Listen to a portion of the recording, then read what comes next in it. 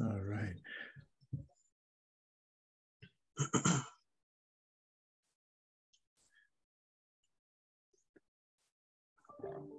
Good afternoon, everyone. If you're here for the Forest and Wetland Adaptation uh, webinar, you're in the right place. We're going to get started here real shortly.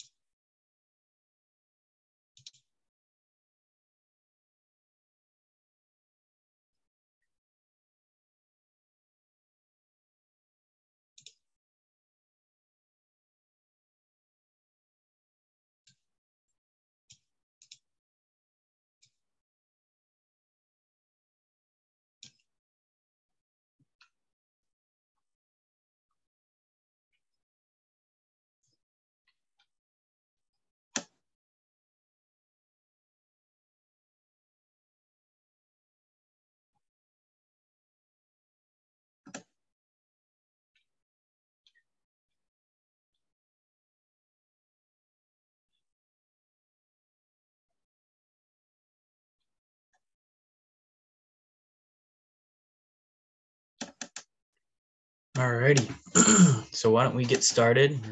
Right around five past here. Um, Besul Wabanoke Wiik, Migma Ak Taluisi Tyler Everett. Uh, greetings, I am a person of the dawn. I am Migma and my name is Tyler Everett. Thank you all for joining us today for this second webinar in the USET Forest and Wetland Webinar Training Series. I am the Forest Adaptation Technical Assistant here at United South and Eastern Tribes or USET and I'll be hosting today's webinar on adaptive management in brown or black ash wetland forests. Depending on where you're from, you might call it black ash or brown ash. I'm sure some of the presentations will touch on that. Uh, I will share this uh, recording and any slide decks presented during the webinar in a follow-up email, just as I did in the kickoff, uh, kickoff webinar. Uh, at this time, I'd like to pass it along to other USET staff on the call who are helping uh, support today's webinar. So I'll pass it along first to uh, my supervisor, Dr. Casey Thornbrugh. Uh, uh, good day everyone. Uh, my name is Casey Thornbrugh and uh, I'm a citizen of the Mashpee Wampanoag tribe. Um, I live and work uh, out of my home in Mashpee, Massachusetts. Um, and I serve as the program manager for USET's Climate Resilience Program. Um, our program provides information and technical support to tribal resource, resource managers and staff for the purpose of adapting to climate change. Uh, we also connect um, staff to partners um, at regional climate adaptation science centers or CASCs. And that's kind of my other role uh, to serve as a tribal uh, climate science liaison. Um, I'm going to go ahead and, and keep passing along through uh, USET. I am very pleased uh, to pass along to uh, our newest member uh, of our staff.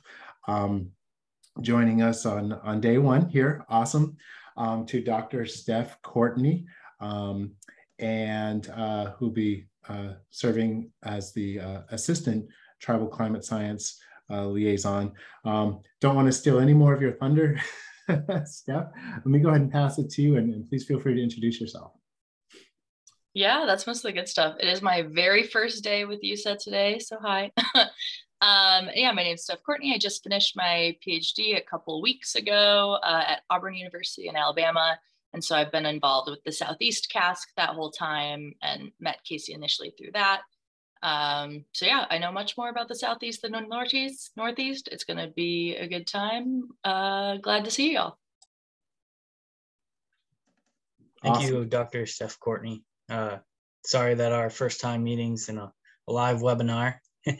but um, you know, first day of USET, and we're throwing you in front of the screen already. So it's it's great to have you part of the team, and um, thank you for giving yourself an introduction here today. Uh, I'd also like to give an opportunity to tribal programmatic staff on the call that were not a part of the kickoff webinar, uh, the opportunity to present themselves. If you want to turn your camera on and unmute yourself, uh, if you're tribal programmatic staff, go ahead and give yourself an introduction now.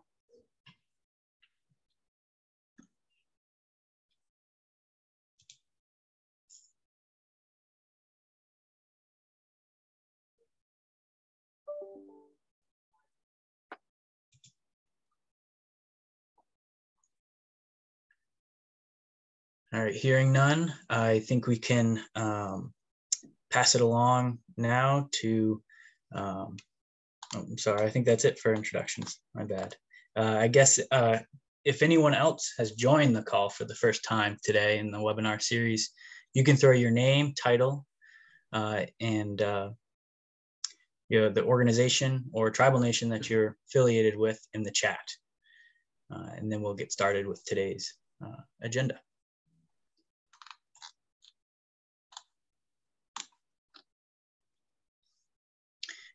All right, so during the kickoff webinar, our writing reflection was how do you see the impacts of climate change influencing the work that you do? Uh, we had some excellent reflections shared uh, during the webinar. And then also um, over email, I had a few reflections shared with me. One of the emailed reflections that I received um, was uh, in regard to increased frequency of extreme weather events, in particular, uh, heavy rains and their effect on wild turkey nesting areas. These weather events could play a big role in the weather in whether or not wild turkey have successful brooding offspring. Uh, this person is now wondering uh, what could be done to aid these species like the wild turkey facing these changes. I thought this was a great reflection. Um, and who knows, maybe this question could lead to a project in their community looking closer at the vulnerabilities of the wild turkey. Uh, I wanted to offer anyone the opportunity who was a part of the, the first webinar uh, and those who maybe just joined the call.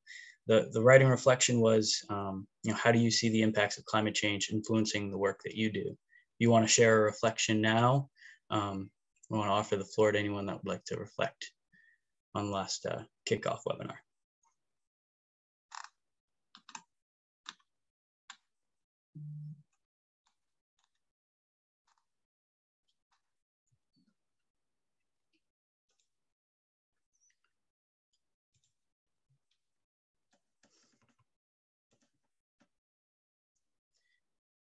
Hearing none, I uh, want to let you all know we do have the opportunity to share a reflection at the end of the webinar.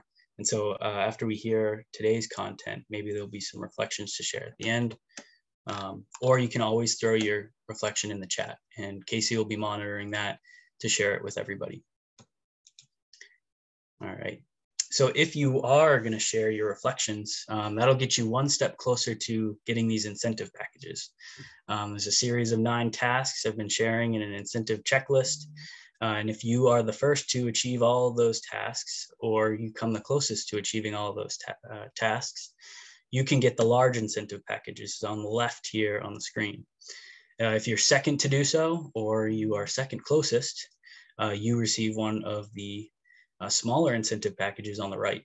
We also do that for the third person. And so this is all to encourage you to participate, share your reflections.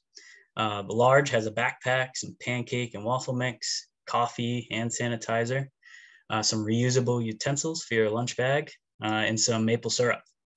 Uh, the smaller tote bag, uh, the smaller incentive package has a, a tote bag, a bottle of maple syrup, travel mug, some coffee, and hand sanitizer. Uh, each of these packages contain elements from tribal producers. And so we're trying to encourage that. It's also really great stuff. So I encourage you guys all to uh, try and get those checklist uh, items checked off and, and pursue these packages. Help figure out how exactly to do that. I wanted to just briefly touch on the loyalty card concept again. Uh, we have a series of nine tasks, serves a similar role as to the you know loyalty card you get at the gas station you chip off nine um, spots and then the 10th one is your free cup of coffee here. If you chip, uh, chip off all nine, uh, the, the 10th is this incentive package that we'll, we'll get to you guys. Um, of course, if uh, you're going to do these tasks and writing reflections, you gotta let me know. So uh, you can send me an email directly at teverett and I will make sure in my records I have your uh, tasks and writing reflections checked off this is that checklist that I uh, am referring to, the loyalty card checklist document. Uh, I have a copy of this for everyone in my records, like I said, but um, I also sent this to you in an email so you can keep track of it yourself. At each webinar, you'll get two opportunities to check off the first task, which is just sharing a reflection with the group. It doesn't necessarily need to be a prompted reflection. Um, it may just be whatever comes you know, to your mind. If you want to share it with the group, um, I'll make sure to keep a, a, track of who's shared a reflection and I'll check it off on your checklist. Um, this will happen at the beginning, which I already did, and also at the end of each webinar, uh, you'll get a chance to share your reflection. Specifically in this webinar, there are three reflections you could uh, share. First is the, the general reflection, which is one thing I learned from today's webinar was. And then beyond that, uh, you also have two other ones. And so number two uh, is in the film site visit addressing emerald ash borer in the Dawnland. Mi'kmaq Nation Vice Chief and Master Basket Maker Richard Silliboy talked about the significance of brown ash to the Wabanaki. Uh, what element of significance for the brown ash tree stuck out to you the most and why? And so you could share that reflection, give that some thought while we're going through today's uh, webinar. And then the third is in Tony D'Amato's presentation, Integrated Pest Management of the Emerald Ash Borer and Ash Preservation, numerous strategies for addressing emerald ash borer were shared. These strategies could prove useful in protecting a variety of cultural important species. Uh, whether it be for ash trees or some other significant resource in your own community, how might you share these different strategies that you could employ um, to determine if the com community supports them?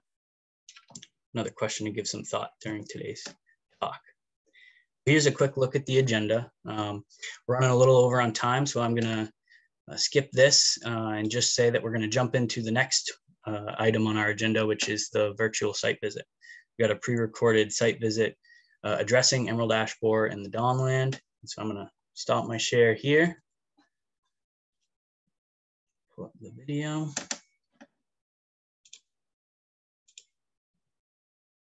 We work so fast with the clicks.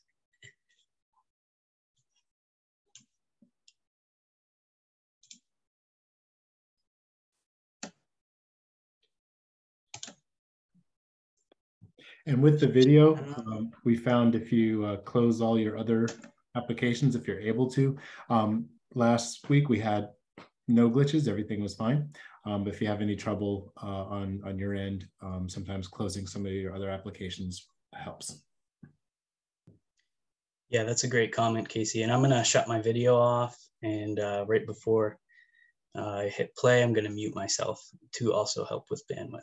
So if you could do the same, that, that'll help with everyone's uh, viewing. Um, and I'll cut to the video now. Thanks.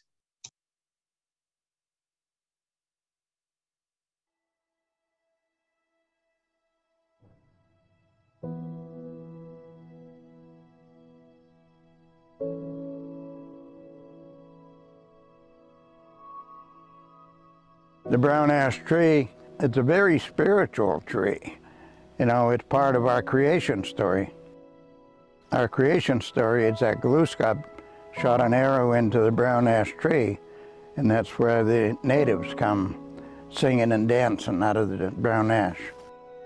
I've made baskets for the past 35, 40 years, and brown ash has always been very important to me, to us as basket makers. I grew up as making baskets with my family. Brown ash in particular is culturally significant.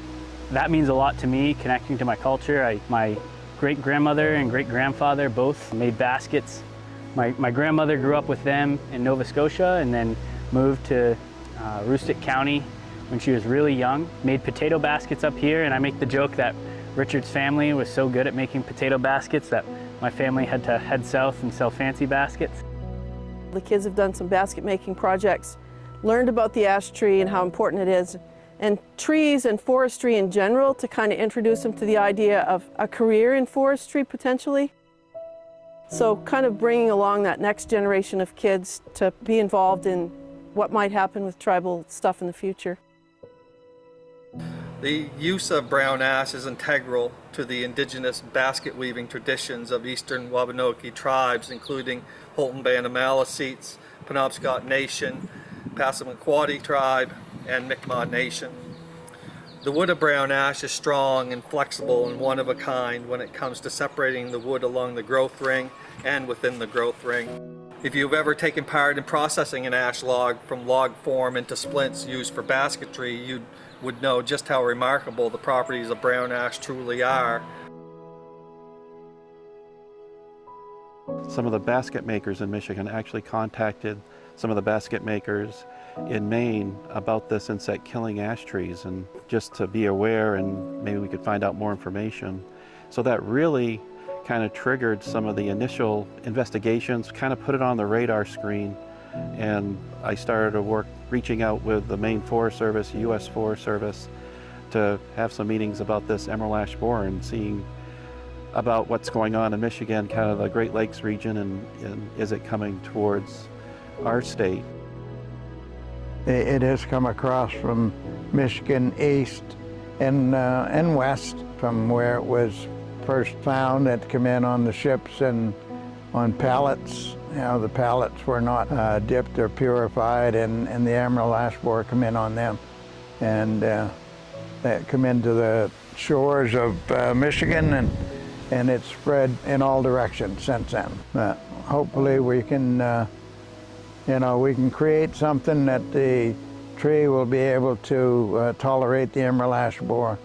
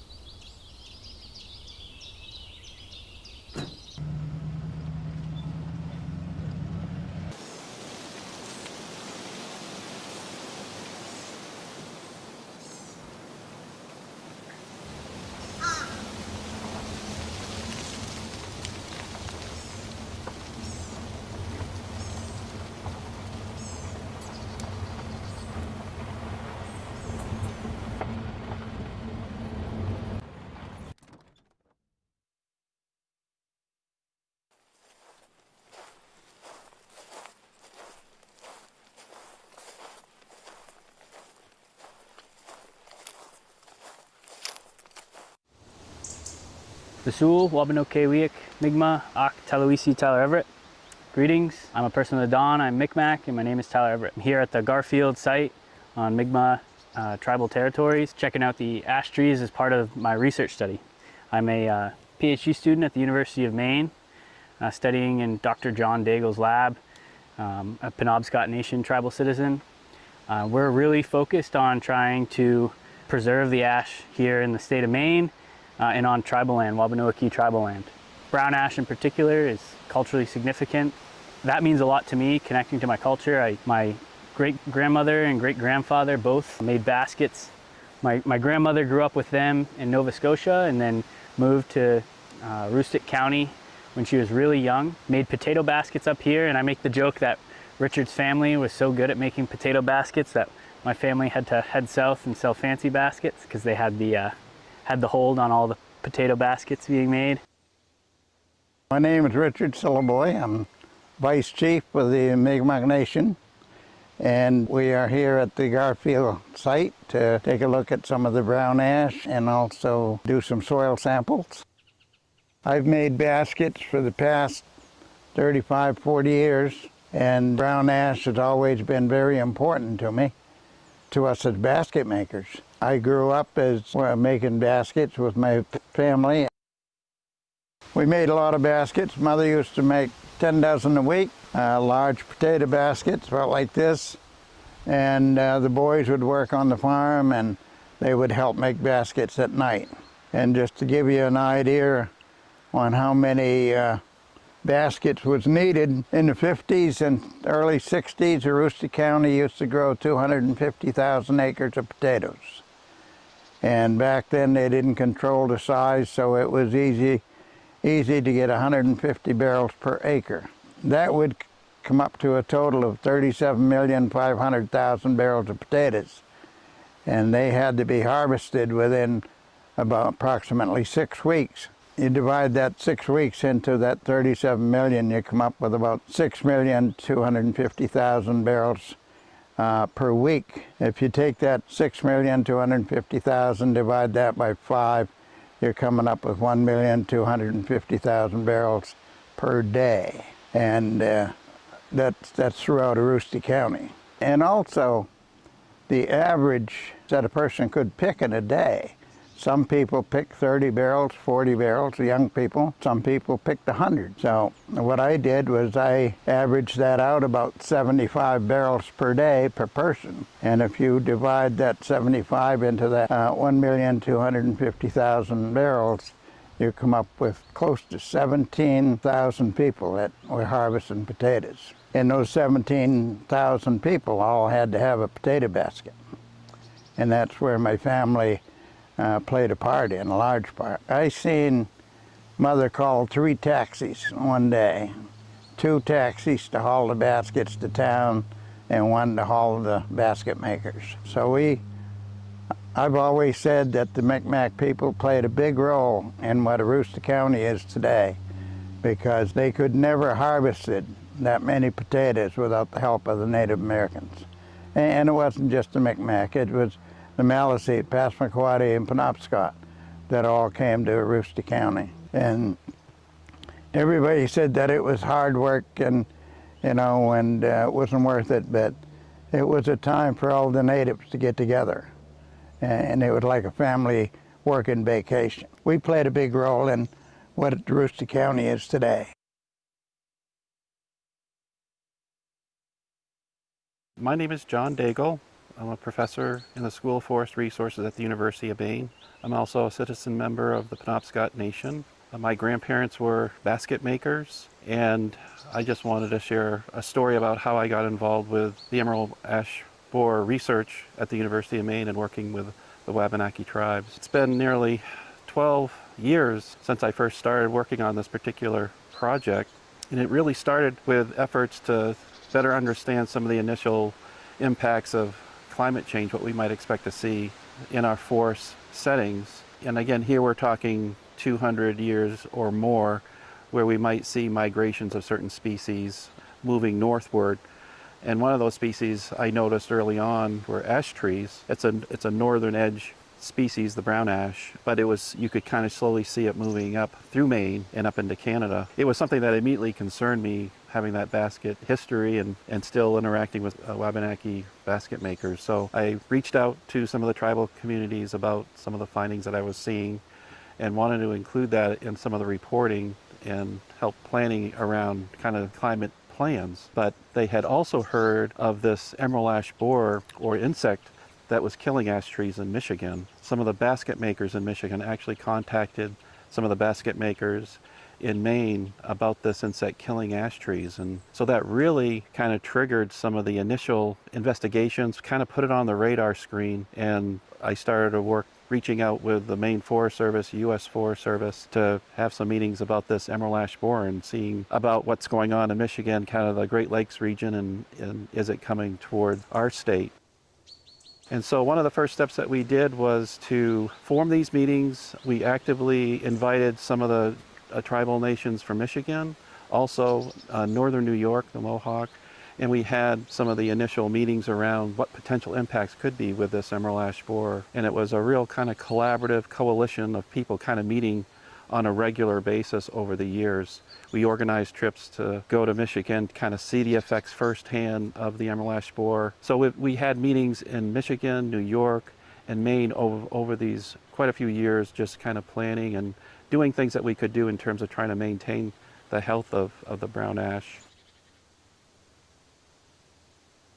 We've always had a, a real strong effort. Again, I really credit tribal communities kind of bringing more awareness of the emerald ash borer. It got the state of Maine involved. After that first meeting that we had together, an emergency order was put in to ban the transport of firewood into the state of Maine. It was one of the first states in the country to kind of initiate that law uh, of firewood transport. And I think that is really partly one of the reasons why we still have one of the healthiest stands of ash in the in North America right now because of that. It's it's entered our state, of course, but I think some of those early efforts really helped contribute to kind of keeping EAB out of our state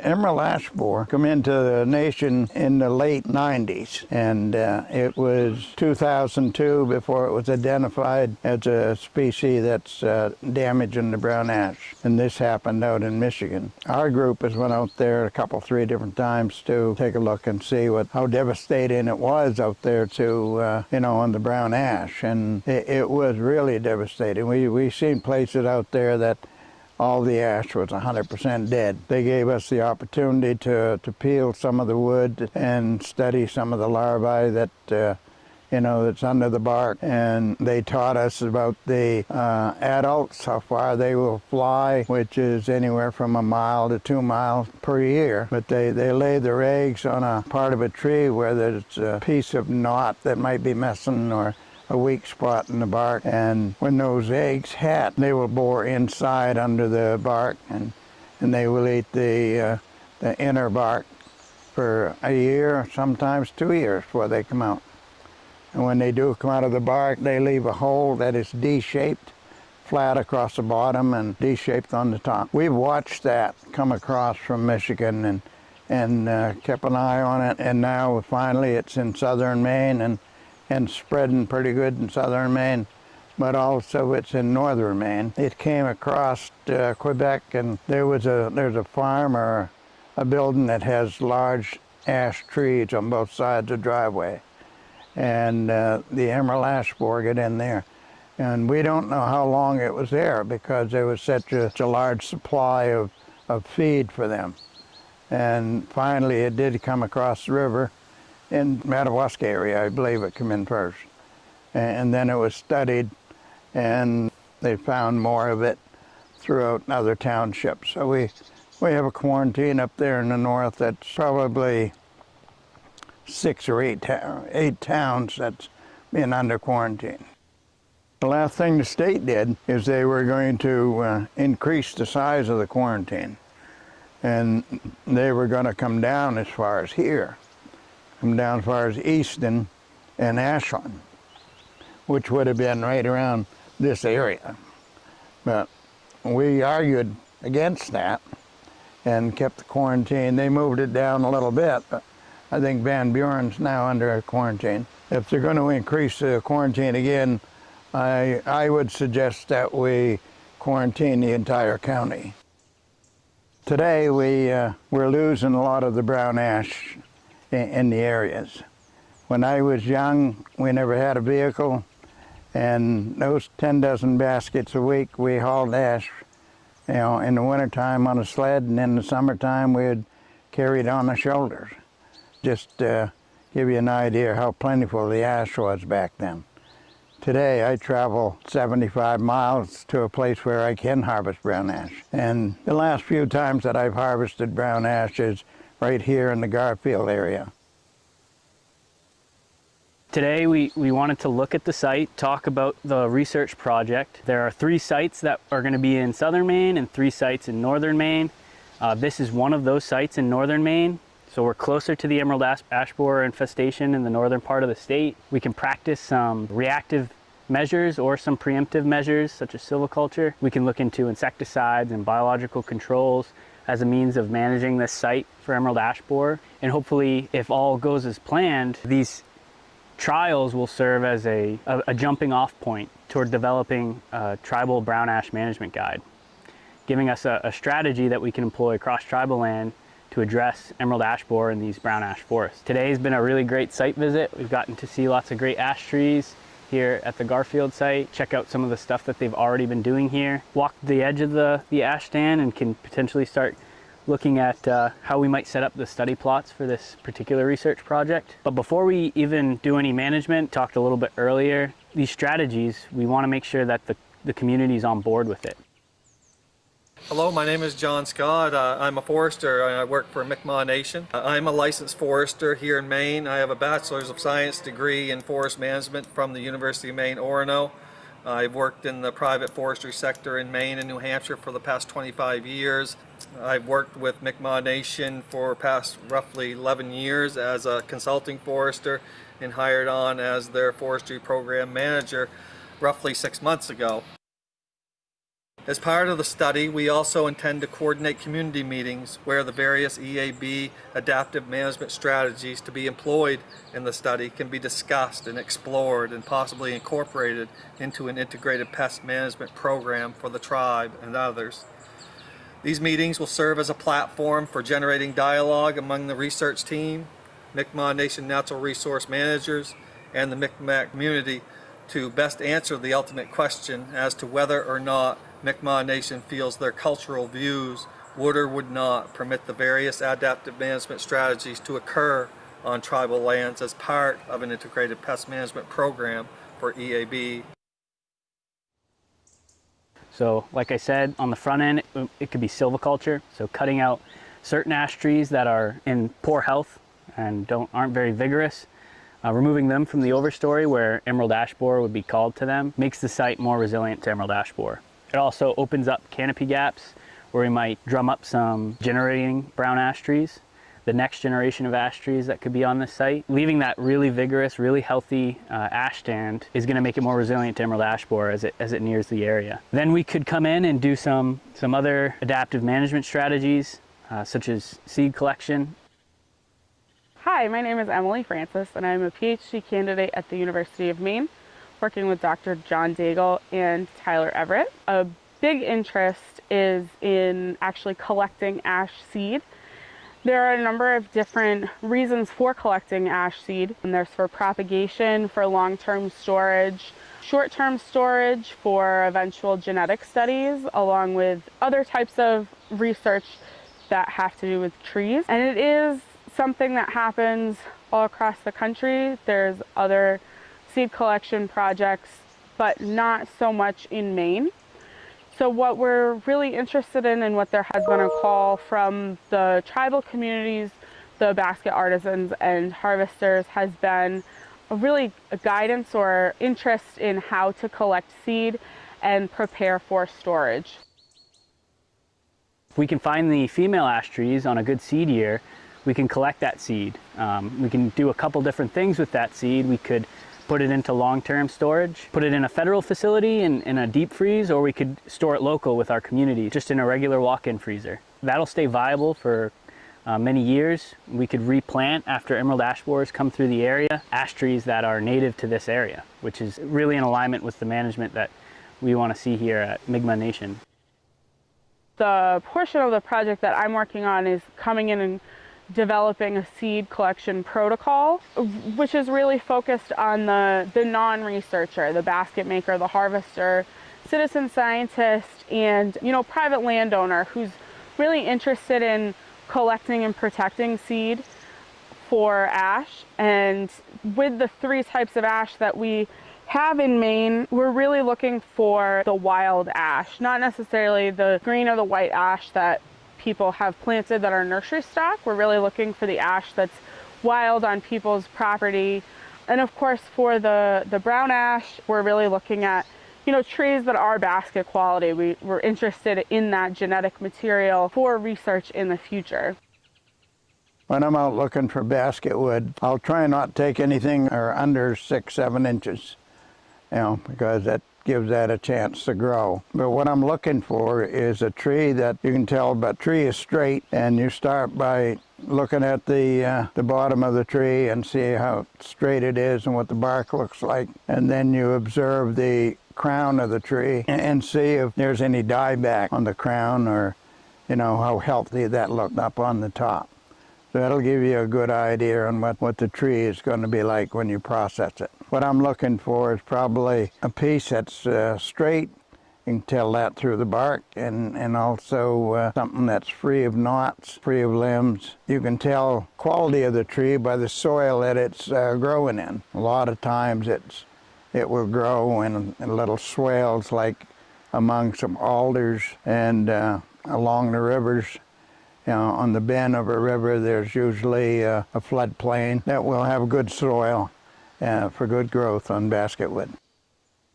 One part of what we've done is contacted and worked very closely with some of the tribes in New York, specifically uh, with Les Benedict of the St. Regis Mohawk and the Akwesasne, who has been doing ash seed collection for many years, even before EAB was an issue, and working with them to really figure out what's the best protocol and how we can make this accessible to people who are, who are interested as community members and not researchers. So the outcome of what I'm working on is a is a document that people will be able to use to collect seed on their own and we're very excited what the future of that document will be.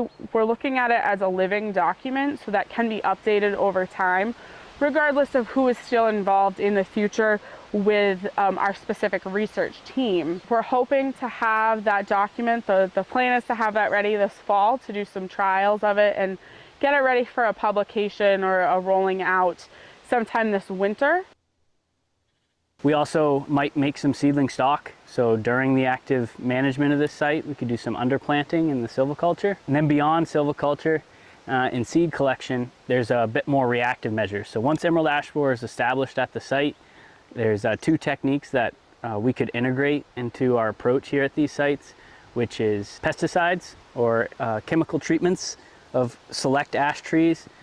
Particularly, it would be those that are seed bearing. So the mature uh, overstory trees that are female and would produce seed, we, we could inject those with a systemic insecticide. That insecticide would, would kill emerald ash borer in there if we employ it early on, we might be able to get three or four more seed years out of that tree and provide a, a, new regenerating layer of ash trees each time before it succumbs to emerald ash borer. That's what buys us time. And it, that's what it's all about. All these approaches buy us time to make sure we can keep ash on the landscape, this culturally important, economically and ecologically important species. Buying time for things like the biological controls. And so that's the other reactive measure we could employ here uh, we could do some releases of these parasitoid wasps that are native to Southeast Asia, release them here uh, as, as natural enemies to emerald ash borer. If they become established, they might keep emerald ash borer populations low enough that we can see an interaction between emerald ash borer, these parasitoid wasps, and the ash trees here on site where everything coexists and everything is in a, in a balance so that we can keep ash on the landscape emerald ash borer does not just go through and decimate ash stands. Instead, the interaction sustained. And that's really what we're hoping to accomplish And so it, really is all about buying time. If we can buy time to, to see that come to fruition, maybe we can protect this culturally important tree. Yeah, it's going to be good to uh, start start monitoring right now for emerald ash borer. That way, you know, although it, it doesn't make sense that it would be here, you never know. And the earlier you know that emerald ash borer is here, the better we can time up Especially some of the management. Yep, yeah. And uh, where there's already been basal bark sprays, I'm sure if we wanted to explore injections, Yeah. it'd be cool to to, uh, to explore that and talk about it. We'll get a setup anyway because we want to do it at some of the other sites too. Yeah. And then uh, if you guys get needles as well, it just makes it faster to inject more trees. But what's unknown is how many trees in a stand, like trees per acre, treated, Mhm. should you have to protect the stand. And that's hopefully something we could figure out, toy around with, get an idea as to how many trees we should be injecting. Another thing that we've thought about too is if, if we do a harvest and take out some trees, we're going to get stump sprouts. Yeah. If you inject that stump, does, are all the sprouts going to have Oh, the insecticide as a protectant? Because Yeah. they'll, in- they'll infest trees down to an inch. Right. Right. And so it's, you know, anything you can do to make it a little bit more um, protected, the better. Mm-hmm. You know. Yeah, plus the spacing, because uh, the, the trees that are injected Mm-hmm. actually has an effect where it actually protects some of the surrounding, the immediate surrounding trees. So it's interesting. The a recent study found that so after emerald ash borer gets to the tree, the larvae are inside. If you inject it, you get quite a few that die. The larvae as they're feeding on the bark. Huh. Um, but really, when you get the mortality is when they pupate and emerge as adults. They have to feed on foliage for about two weeks. And so in that two week period, they'll eat the leaves, and those have high concentrations of the insecticide. I see. And so that's where they get the most kill Mhm. on adults, which is important because that's right before they lay their eggs. Right. Well, this will be a first step to see, you know, at least to detect, uh, see if there's any migration of the of the pest down this way. We need to continue to uh, teach our young, teach our elders to continue to participate in basket making. We also need to do an apprentice for younger people get them interested into the art of basket making. Dr. Dina Winslow, I'm the tribal planner and grant writer for the Mi- Mi'kmaq Nation. Been there nine years now. But I've been involved with the tribe since I was just very young, so been familiar with all the things that have been happening over the years. One of the projects that we're here to kind of talk about a little bit today is in 2015, I kind of came up with an idea for a grant and wrote the grant pertaining to getting the tribal youth involved because we knew the ash borer was coming our way. So Richard and John Scott, our forester, both helped out with tremendously with working with the youth and we did some pretty exciting things for kids.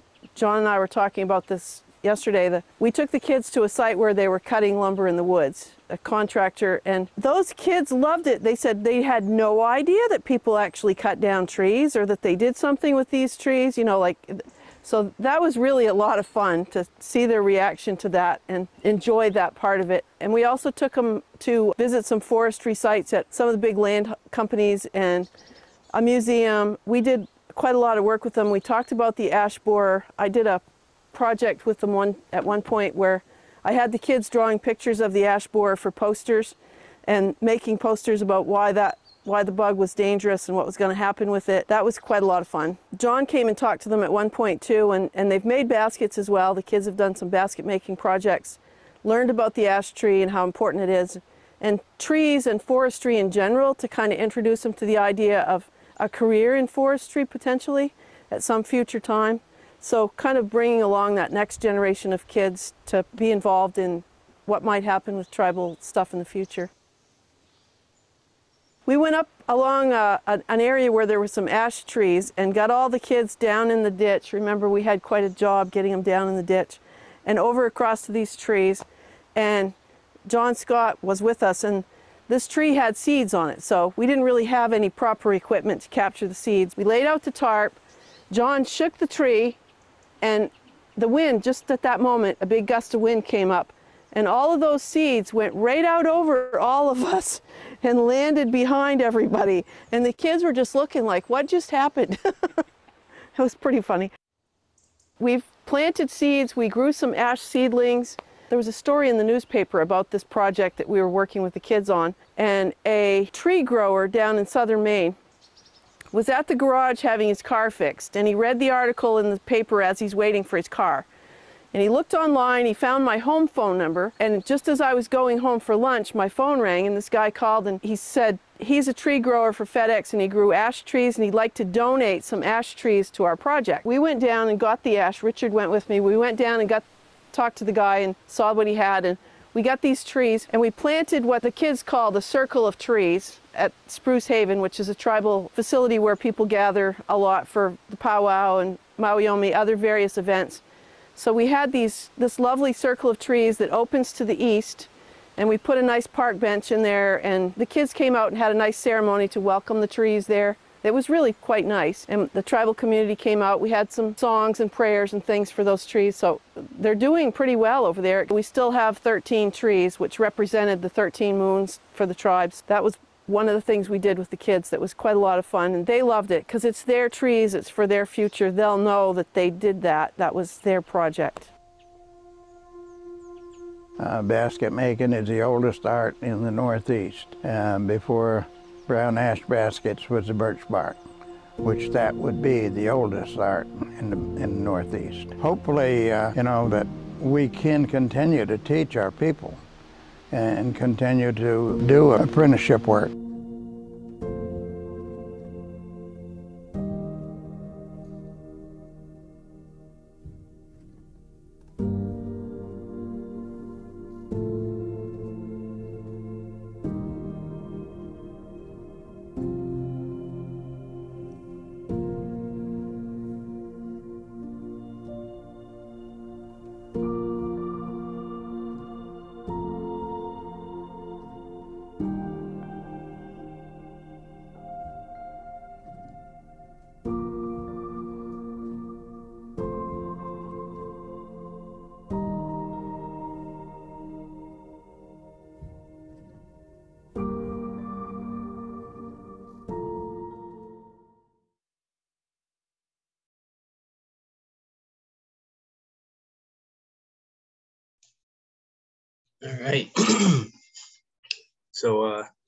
Just want to give John Daigle, Emily Francis, John Scott, Vice Chief Richard Silliboy, Dina Winslow, a thank you for contributing to that film, and then Nolan Altivator uh, for doing the filming. Uh, that really came out awesome. I'm, I hope everyone else enjoyed it.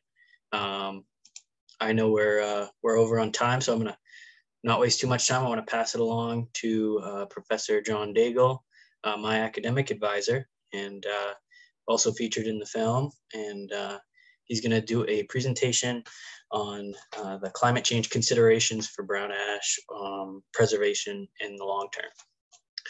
So the floor is yours, John. You should be a co-host. You should be able to share right away.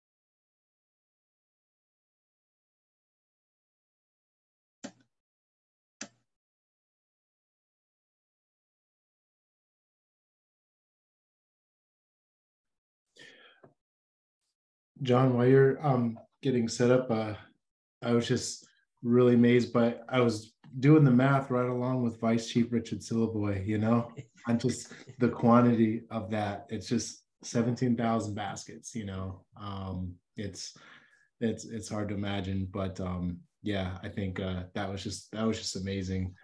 Um, uh, that one of the takeaways I had from it. Uh, John, it looks like you're up, so I'm gonna go ahead and mute my microphone. Great. Um, yeah, I just want to show a few more of the fancy baskets, um, uh, other baskets that were made. And like I mentioned in the video, my grandparents were actual basket makers too. They're they're more utility baskets. My grandparents made pack baskets and um, and other types of baskets, you know, compared to these small little fancy baskets. But again, it, basket making was really important to the family income, um, time to be together, share stories and stuff. So really important. Um, I wanted to also show um, some of the early research, kind of looking at some of the impacts of climate change and projections of things that we might see. Um, and this this focuses around, and again, there's a whole list of different tree species. There's maple trees and other kind of things that we can kind of look at the projected changes in habitat suitability for species. But you can see there's a, a, rough boundary, but you can, the, the, black ash or brown ash is kind of a northern edge species for, you know, for America. It's really prevalent in uh, Minnesota, um, Wisconsin. Green is a, is a heavier, heavier population where there's actually kind of full stands of, of black ash.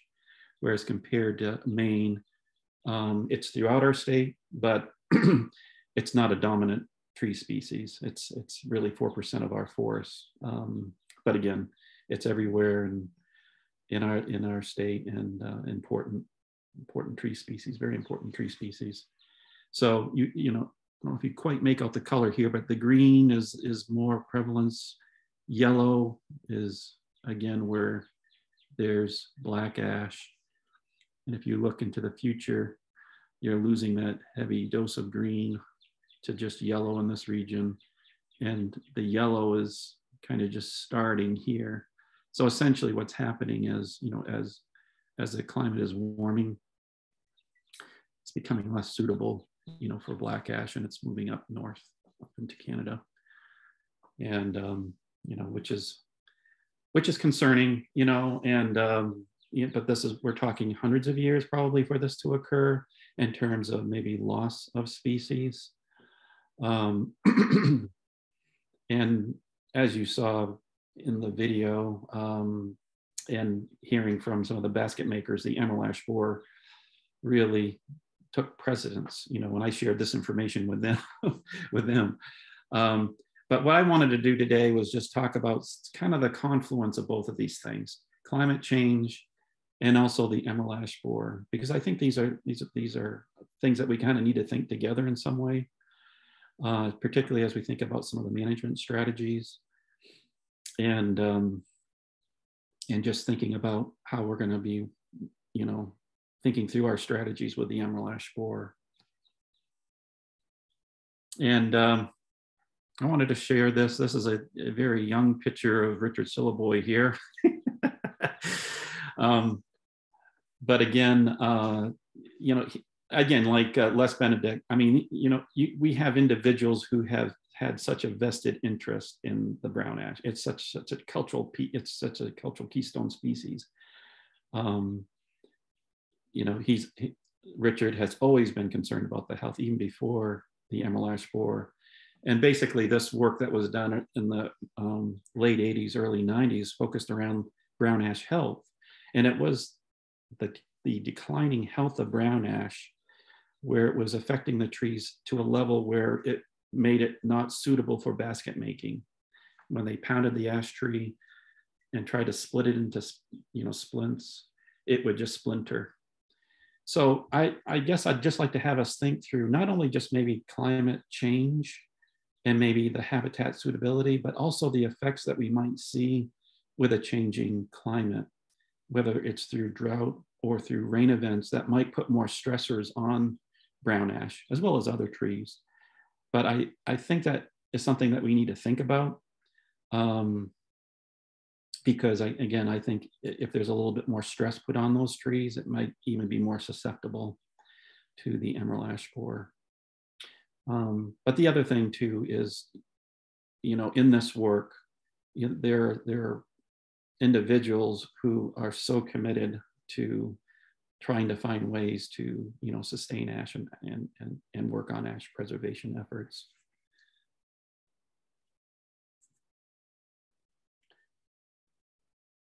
If I can get rid of the, I don't know if my top screen is showing on that. Um,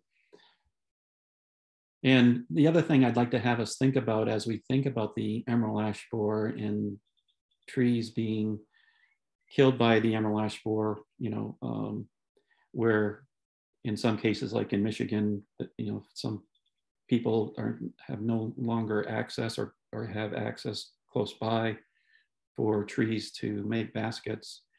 And they've had to make a tough decision to stop the practice.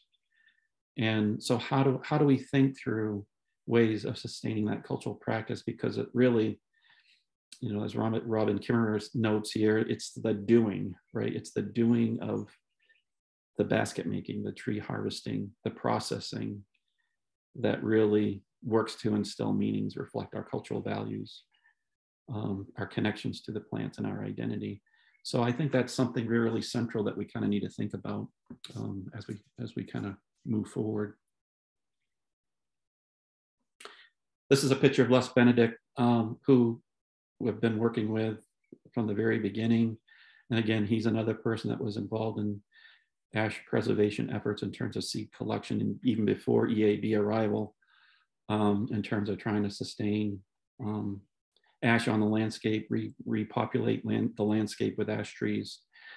And um, one of the quotes that I really like that he's talked about several times is that, you know, through all the sadness that EAB, you know, may have caused, you know, it really, in a weird sense, it really has kind of been a mechanism for reestablishing tribe to tribe relationships where you know um, we've really been working close together sharing sharing information visiting each other's lands and um, and so um, it's, it's kind of been a mechanism for coalition that I think is important.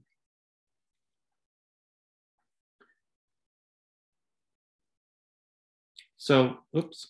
Um, I'm just going to go through, you know, again, you know, focus on, you know, thinking through kind of the climate effects, but with also recognizing the effects of the ash borer.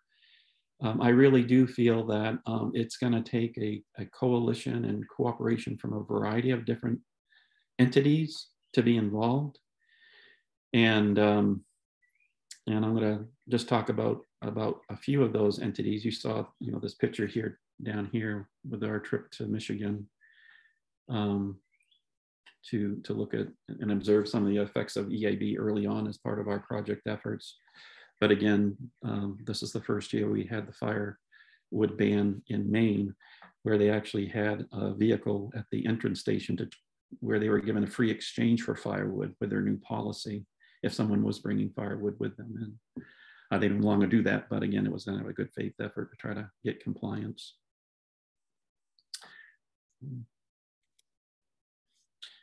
And again, meetings with Michigan and some of the tribes in Michigan, really, really important. Again, looking at the effects, looking at kind of the long-term implications.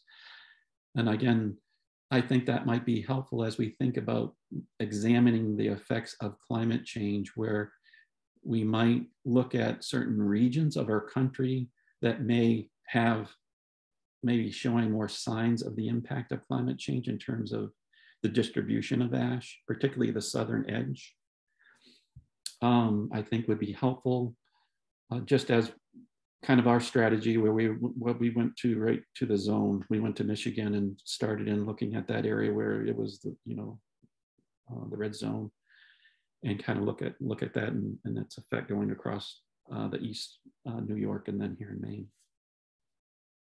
So meetings in Michigan, New York, and again, sharing just valuable information. You know, this is Les and uh, his report on developing a community response plan, a propagation manual for black ash. Nothing really existed, you know, with you know with his work with the black ash. So just a just a wealth wealth of knowledge. And of course, we had some meetings here in Maine and um, a, a, colloquium here in Maine and, and later in Vermont, where we had tribal involvement and also federal and state efforts in terms of um, research and management efforts around, around black ash, which have been very valuable. And increasingly, we've been um, working more on outreach. It always has been part of the outreach, particularly around the transport of firewood, to try to you know, like Tyler talked about, give us more time uh, for research and other efforts around the emerald ash borer. And we've been working with private landowners. Um, and again, now that EAB is in our state, has actually generated a real push, you know, in people wanting to learn more about the emerald ash borer, the effects it might have on their forests, including ash. And I'm very pleased in terms of some of the um, concern um, a lot of private landowners have on the Wabanaki cultural lifeways, you know, of the ash and what they might be able to do to help support efforts in ash preservation. And this is a picture of, of Les, myself, and Emily, and some of the tribal members going on this property here on the Nature Conservancy, looking at some of their ash trees. So I, I know Tony's going to get into this a little bit more and some of the integrated pest management strategies, but I thought I'd just cover very briefly a couple key strategies that I think is important as we think about some of the climate effects, um, climate adaptation, uh, and especially with the emerald ash borer. Um, you know, seed collection and seed banking is going to be something that is really, really important. Um, we know, unfortunately, that black or brown ash is the most susceptible species of ash.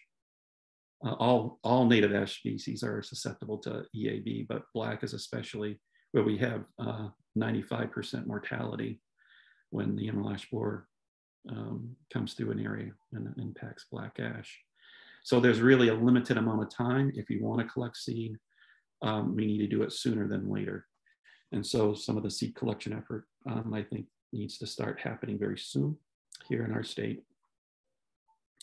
And in particular for seed collecting on a geographic area where we want to try to have geographic zones, right? So we want to have seed collected in different parts of our state. We have actually three eco, eco zones here in Maine, eco type zones that go from south to north.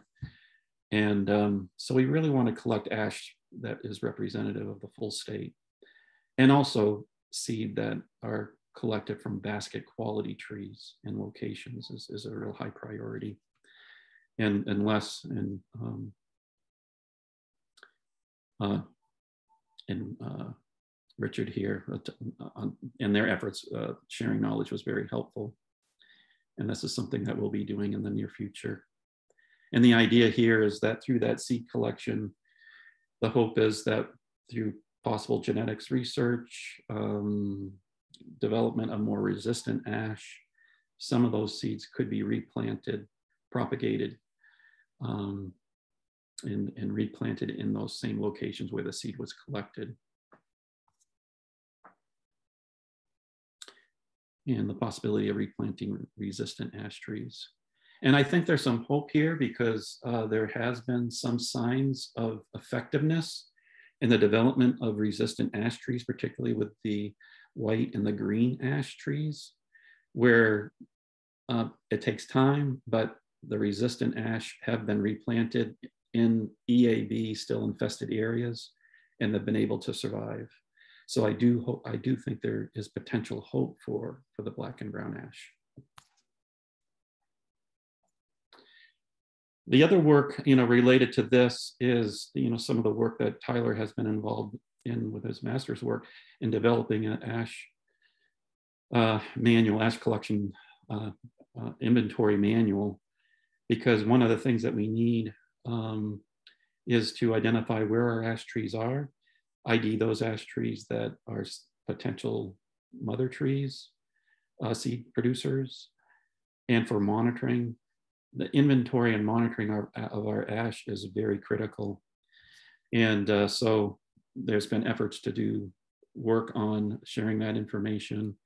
Uh, Tyler gave a workshop for some of the tribal foresters uh, a, a winter so a winter or so ago um, at a site at the University Forest um, on some of the ash manual techniques. And it's not just uh, inventory of ash, it's, the, it's inventory of a lot of other different elements that Tony's gonna get into in terms of if you want to integrate um, pesticide treatment or insecticides, you need more than just where the tree is growing. You kind of need to know how many trees you have in that region and soil and how close to water and all these other things that um, that's part of um, Tyler's manual to kind of be able to implement some of the integrated pest management strategies. And again, monitoring is, is really key for uh, timing is, is really important for, for implementation of the strategies. And so this is an effort for having some of the trap trees and checking those trees for emerald ash borer. It's Richard scraping the tree to look for emerald ash borer.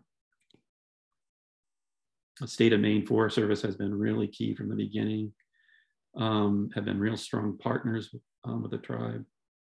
Um, and uh, they've been involved with most of our, our workshops and, and, outreach efforts. So we're going to continue to do more work with the with the land with landowners. Um, again, as we think about seed collection efforts on a large landscape level, I think that's important. So we're not, I mean, we're going to be collecting seed on tribal forest lands, but I think we need to be thinking about a larger scale effort in, in seed collection efforts and I think one of the real values of, of getting more involvement with other landowners here in our state is uh, maybe their willingness to consider some of the management strategies that Tony's going to talk about, because in some cases it may require, uh, you know, not harvesting all their ash when EAB is approaching, right? So the idea if you harvest all your ash, that takes out the possibility for identifying any resistant ash to EAB um, or the possibility for seed production.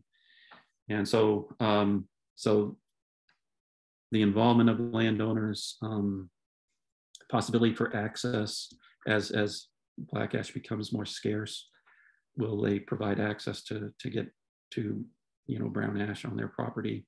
Again, we're, we're seeing a lot of cooperation as well as seed collection from many, many landowners in Maine, which is really, really um, promising, I think.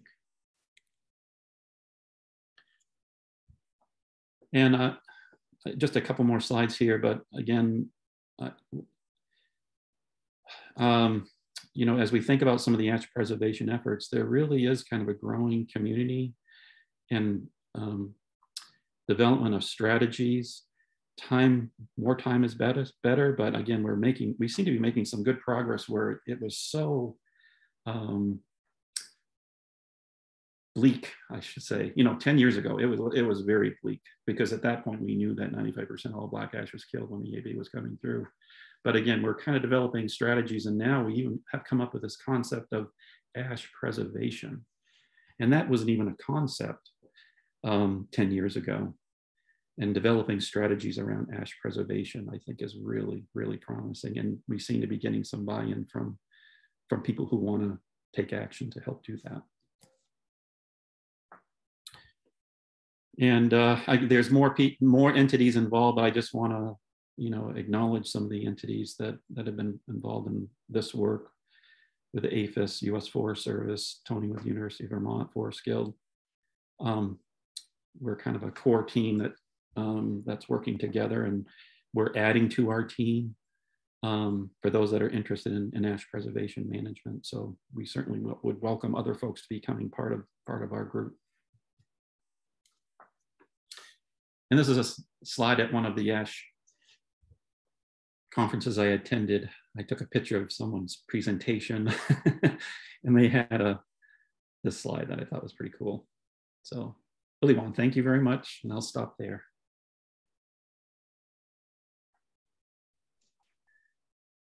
Thank you very much, Dr. John Daigle. That was uh, an excellent presentation. Hit on some really important aspects of uh, ash preservation and some um, great pictures all throughout. It's pretty pretty amazing the uh, community of people that come together to, to do work on ash. Um, I'd like to open it up for uh, some questions from the group. If, if anyone has a question for, for John, I think we have time for one question before we move on. uh, but keep in mind, we will do a, a panel discussion after the next presentation. So if you're still thinking through your question, you'll have an opportunity uh, before we close out today to ask the whole group of presenters um, questions.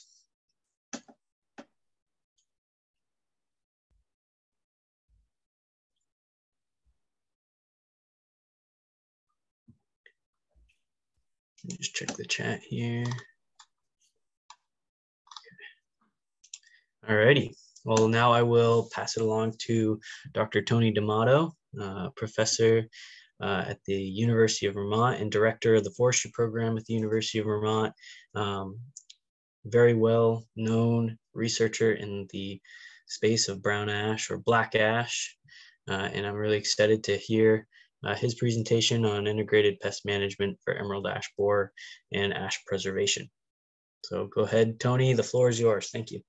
Thanks, Tyler, and thanks people for logging in, and, and also thanks uh, John and, and, Tyler and others for the great presentations and recording before me. Um, really, what I'll be doing is is building upon uh, many different ideas that have already been been shared uh, today and have been shared by by many uh, before me, just around both the importance of, of ash and, and how we think about the threat that emerald ash borer poses to it, but, but more broadly thinking about emerald ash borer is just one of, unfortunately, many threats that are either currently affecting our forests are going to affect our forests in the future. And so, as John mentioned, um, I've really been fortunate to partner with, with many people, including Tyler and, and, John and Les, to think a bit more broadly about um, what is our role and, thinking a bit more actively about preserving species in the face of these threats and, and how do we actually both internalize that with our values, but also think through on the ground what that might look like and, and what may not may or may not be feasible. And so I'll start just by talking broadly about independent of species, why we might think about um, preservation, um, and then I'll get into some of those strategies with, some details, um, building upon what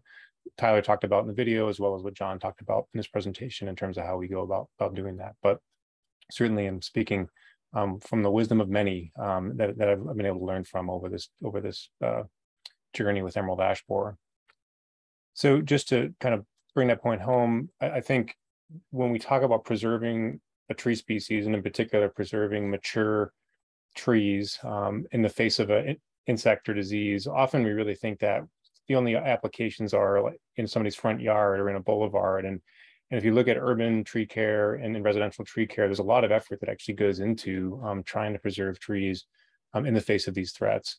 And, and I would confess that even a few years ago, I would be of the camp to say that really that's where it makes the most sense. You know, really, really it, it's it, it's not feasible at large scales in rural settings. Um, so why should we even try? And and what I've learned over time, just both in terms of the cultural importance, but also the ecological importance of ash, is that um, the tools and, and, our knowledge and really the magnitude of impact is, is, is getting so great at this point that um, maybe there are scenarios where we should be thinking more um, seriously about kind of widespread preservation of species um, while we still still have the opportunity. So what I'm going to be talking about is kind of a general framework that um, myself and, and, the others that are on that title slide have been thinking through, both in terms of um, how we might approach preservation of a, of a species in the face of, of non-native insects and diseases, and then dig in a bit more into specific strategies as it relates to, to ash and preservation of ash, um, and, and in particular, I'm thinking about brown and black ash.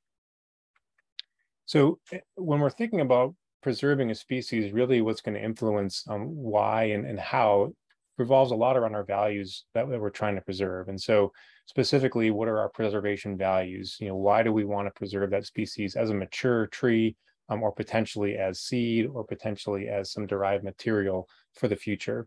And so using those values really as a guide to how we might actually approach that on the landscape. And so if we're trying to actually maintain some sort of function on the landscape that, that living large trees provide, one our key approach would be that we need to find ways to keep those trees alive and use those strategies like integrated pest management that allows us to do that.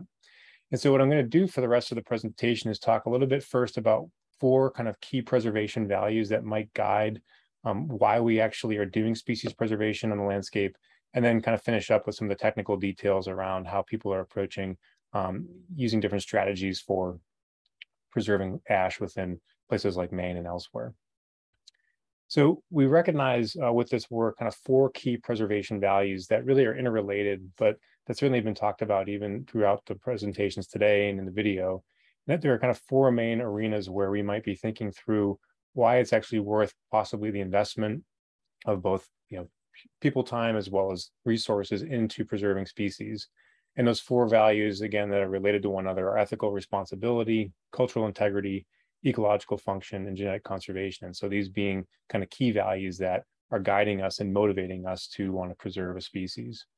And so I'll start with kind of the ethical responsibility. And for time immemorial, really, we've had this relationship with the natural world that there's a responsibility to maintain the relationship among beings. And from our perspective, this is fulfilled by honoring the gifts we offer one another as beings within the natural world. And so before non-native invasive insects and diseases, this was a relationship that was held among, among individuals across the landscape. Unfortunately, what this graph is showing on the right is that humans um, have really increased the number of non-native insects. This is the number of wood borers that have, that have accumulated over time. This is the number of insect pests that have accumulated over time. And so beyond this, this basic ethical responsibility, we now have a new ethical obligation to conserve these species that are facing threats that we have brought upon them. And so thinking through, you know, as we try to maintain these species in the landscape, there is this ethical obligation to do that. Likewise, um, as has been touched upon many times um, today and that, that all of you appreciate, there's also unique cultural values tied to species. And certainly these photos here are both a small grove of ash as well as splints coming from a black ash and as well as the baskets derived um, from black ash, including some of those nice potato baskets um, that Richard um, creates. But this could be talked about for many species, whether it's the, the value of white oak or chestnut or elm or white bark pine. Each species has these key cultural values. And so maintaining those in, either in the form of living individuals in the landscape or maintaining the materials that we derive from those species warrants thinking through why in, motivating our preservation. And certainly a lot of that has been talked about today already. Likewise, besides those unique cultural values, um, tree species have unique ecological functions. And these pictures here really relate to the functions that ash provides, but I could have similar pictures again for longleaf pine or for white pine or for red oak or for Douglas fir every tree species has a unique chemical composition of its foliage, has unique growth patterns, creates unique environments. And so when we lose those species from the landscape, we also lose the ecological functions they provide. And so an additional motivating value for why we might want to preserve a species is that we're trying to preserve the functions they provide.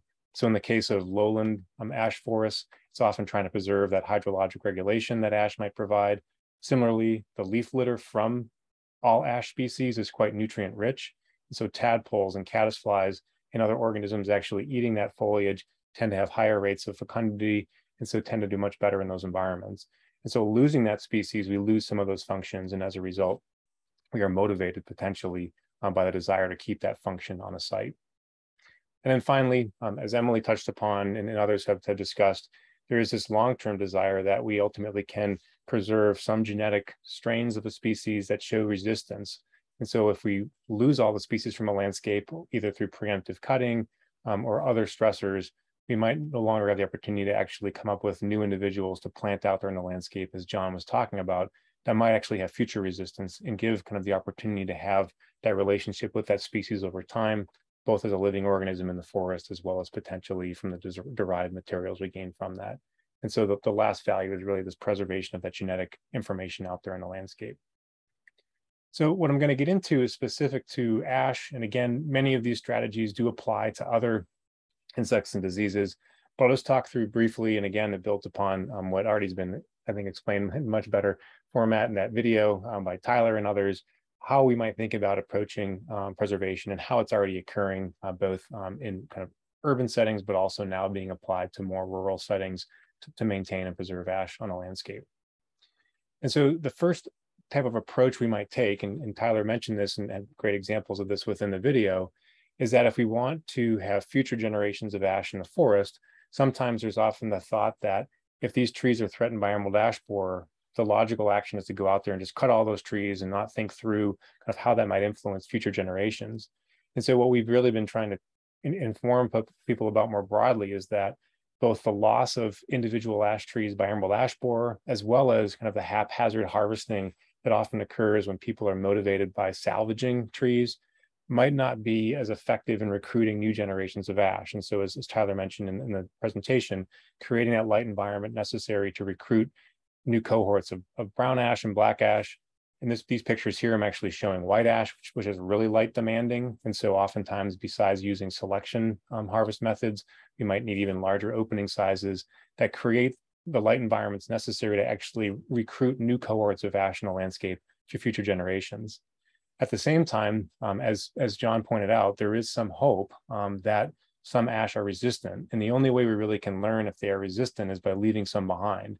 And so a lot of what we often talk about is not only recruiting um, new ash in the landscape, but where possible, leaving some mature ash behind, preferably female ash, um, as future seed sources, as well as future tests of resistance to give us opportunities for selecting individuals for future genetic breeding and so forth. Nevertheless, when people talk about preservation, most of the emphasis is around using insecticides um, in the context of emerald ash borer um, to protect ash. And so oftentimes when we're in an urban residential setting, the, the range of, of, insecticides that might be appropriate are a bit different than what might be appropriate in a forest where we're really concerned about what the impacts might be on other, other biota and other organisms. And so because of that, really the main type of insecticide we think of and what's being used at broad scales for preserving ash are those that are directly injected into the trunk. And as a result, there's less risk of impact on other organisms and other plants. The other reason why people are looking at uh, trunk in injections, particularly emamectin benzoate, is that it actually lasts for three years. And so there's not this need for repeated um, treatment over time.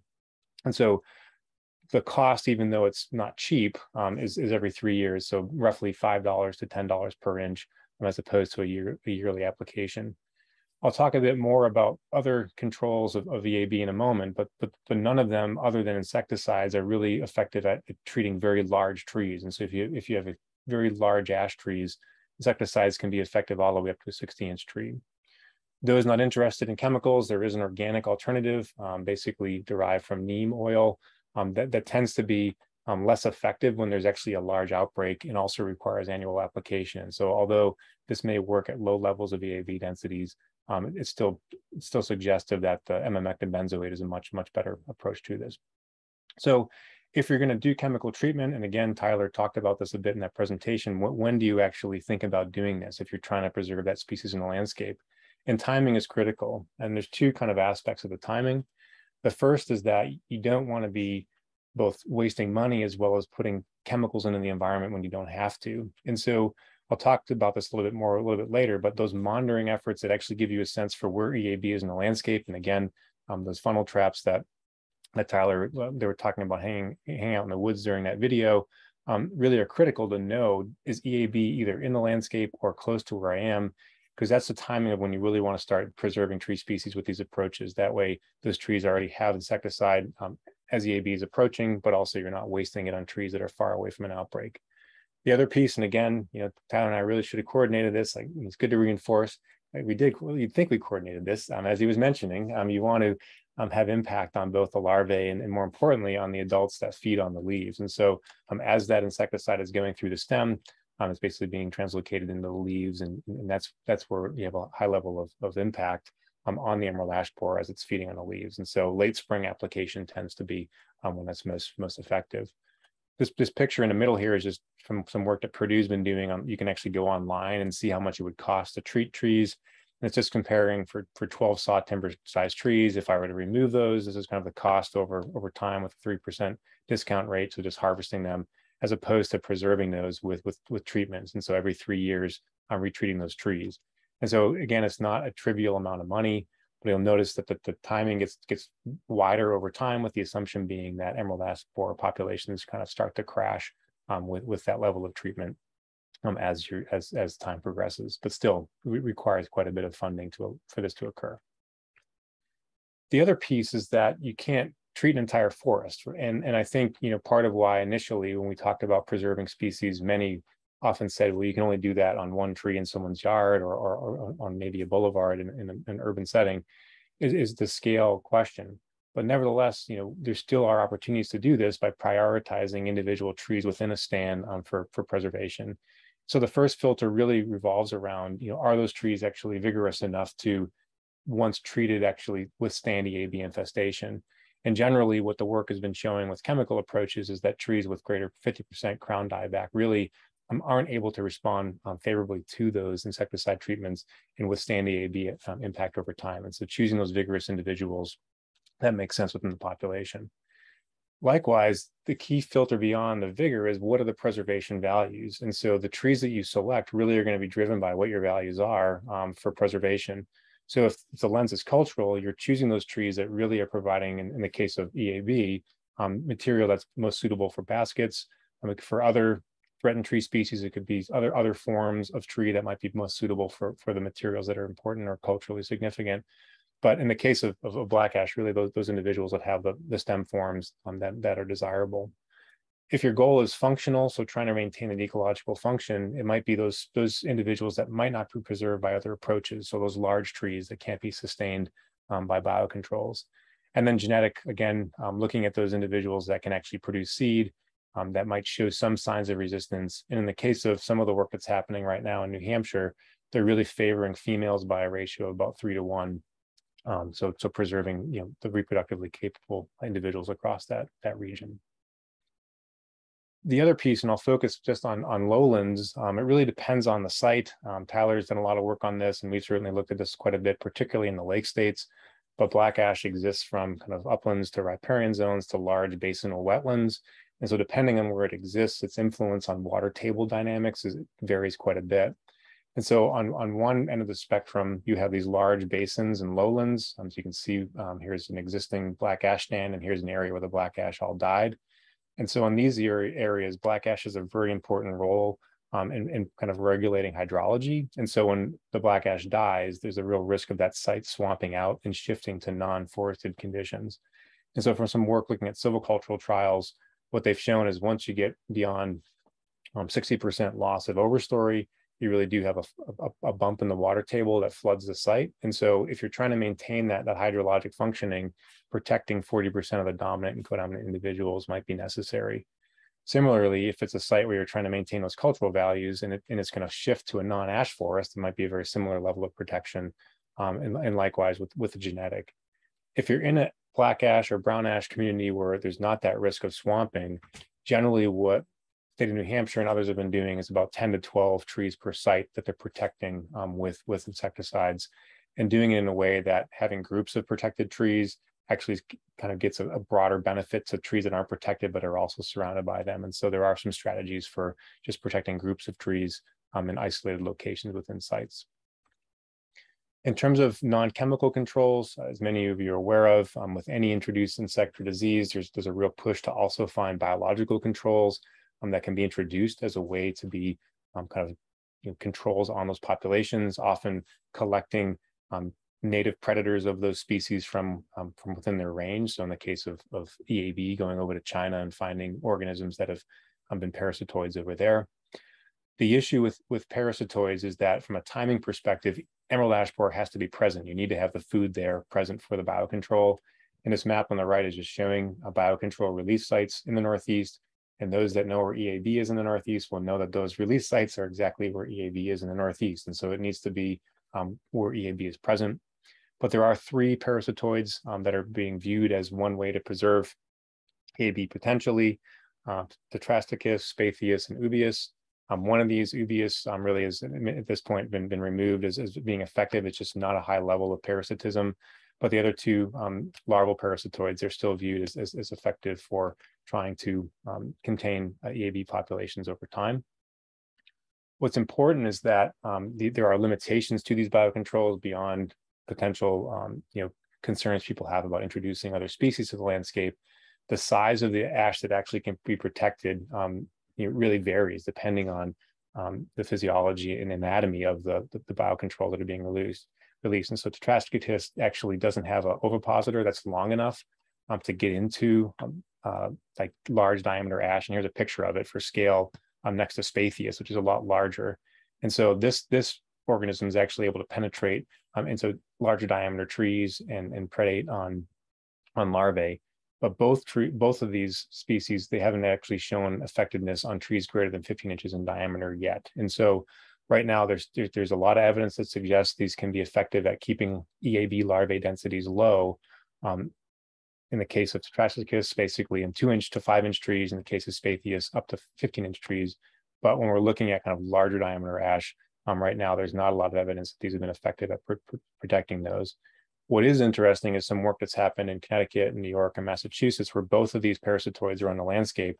It does show they're complementary and what what trees they actually are are in um, paras, um, conducting parasitism on the larvae.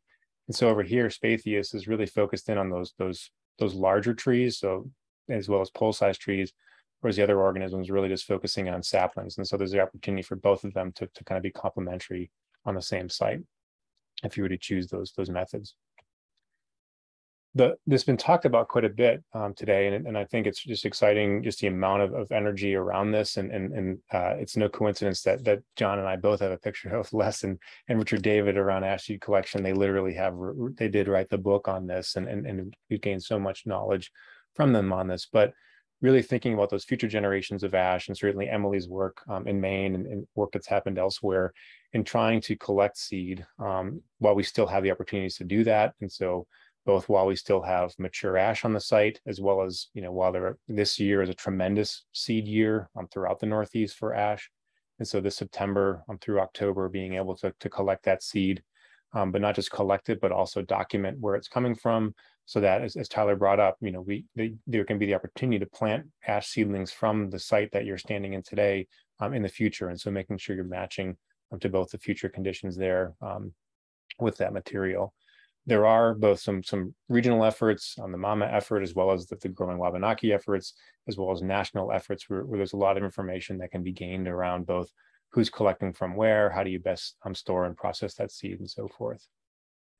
Likewise, um, although less um, you know, hopeful in terms of the opportunity to have the full experience with with Ash into the future, but nevertheless, there is growing momentum and interest around um, preserving future material from ash, even if we're unable to preserve large amounts of, of living ash in the near future, um, pounding out and collecting and storing large amounts of splint material so that there's there's opportunities for future generations to work with that material, um, even when, while we're still trying to find ways to, to get mature ash back on the landscape.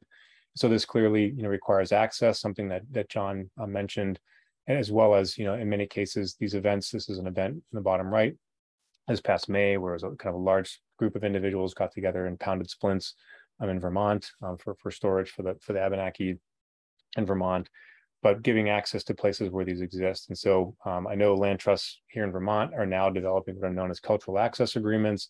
Sounds like and similar efforts are going on in Maine, but, but gain, gaining access to where both black ash are for, for pounding as well as for, for seed collection, I think is so critical um, for this. And then finally, just integrating many approaches. Again, um, Tyler's video really highlighted this, this well, and that this is this is definitely a novel threat. And each of these approaches I talked about have different strengths as well as different costs associated with them. And so, in some cases, applying multiple approaches across the landscape might actually provide the best best approach. And so, for example, when you're treating trees with insecticides, you know those individual trees where insecticides are being applied um, you will not have EAB in those areas. And so they'll, they'll, they'll isolate themselves onto other trees where it might be easier for natural enemies like woodpeckers, as well as parasitoids to actually be more effective. And so kind of balancing those strategies across the site is pretty critical. I won't belabor it, but it is important to survey um, and know where EAB is or any of these threats are on the landscape. That will inform kind of what strategy makes the most sense. And, and again, John and Tyler's presentation highlighted that nicely. And then I'll just reemphasize, you know, point that that John made and, and, and that I think is hopefully clear as, as we talk across this issue is that um, it's been an unfortunate reason to build community across many different people, many different tribes, many different partners. But there's been a lot of power in that community in terms of sharing ideas and knowledge and, and kind of humility um, as we ad- address this issue. And so it's it's been I feel really fortunate to have been part of this. Again, not the most most uh, I guess uh, happy reason for for motivating us but but nevertheless i think it's a powerful model going forward um, as we deal with other threats facing our forests and kind of and thinking through more broadly the cultural um, values that are impacted. So just to, to end again um, you know preservation of these species you know really can't happen everywhere. There are costs and certainly trade-offs associated with these approaches but we do know especially with ash at this point um, there are some effective tools um, there's a lot of knowledge that's been gained um, over the over the decades from folks like Les and others, but also even the last several years that if we have the opportunity, we should be trying these tools. And importantly, I think this this community of knowledge and certainly opportunities like today, um, where we connect around these issues, are so important. And so, thinking through how we we deal with both emerald ash borer, but other threats that face our forest into the future, I think really really relies on this community building and and, and, and leveraging our knowledge and, and values across across communities. So I'll end with that and acknowledge the many people um, including uh, again John and Tyler for for covering everything so well before me, so I could just re reinforce your your points. But um, certainly appreciate the opportunity to talk today. Thank you very much, Dr. Uh, Tony D'Amato. That was an excellent presentation. I think there were some some points that were consistent across the video, John's presentation, and yours, and I think that just speaks volumes to the importance of some of the stuff that we're we're talking about when we think about ash preservation and how significant this species is to um, tribal communities in the region, um, tribal nations in the region. Uh, I think it'd be to give a few minutes for questions and follow up to Tony. And while that's uh, occurring, I'm going to pin everybody that uh, has presented, um, myself, John, Emily, and Tony, and we can uh, answer any questions from from the group that have uh, been lingering. If there's a question that uh, came up earlier and you didn't get a chance to ask it, now would be the time to do so.